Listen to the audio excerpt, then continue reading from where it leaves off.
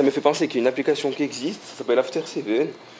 Euh, dessus, je peux publier mon événement, en faire la promotion, et les gens qui me suivent, ils peuvent recevoir une notification comme quoi j'organisais un événement cette soirée-là. After Seven, une start-up imaginée par cinq étudiants de l'Université de Corse.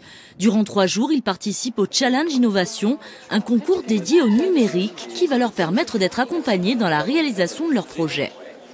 On n'a que trois jours pour euh, réaliser de A à, pas de A à Z, parce qu'on ne va pas faire l'application, mais de A à E peut-être, les, prémices de l'application.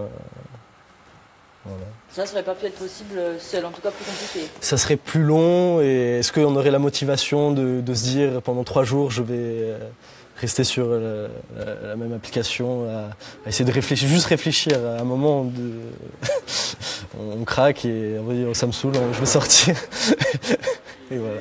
Comme eux, 125 étudiants participent à l'événement. Pour les coacher, une soixantaine de professionnels issus des entreprises de l'univers numérique insulaire.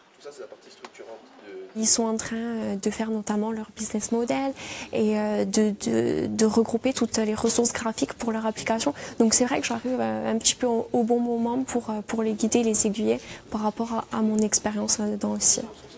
Objectif principal, permettre une rencontre étudiants et professionnels du secteur.